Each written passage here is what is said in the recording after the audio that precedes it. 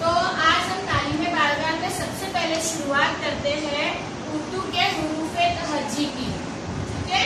तो अब हम उर्दू के हरूफ तहजी पढ़ना शुरू करते हैं। अलीफ अलीफ।